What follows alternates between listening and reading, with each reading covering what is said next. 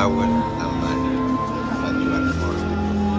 You know you cannot escape death, but immortality can be obtained, can be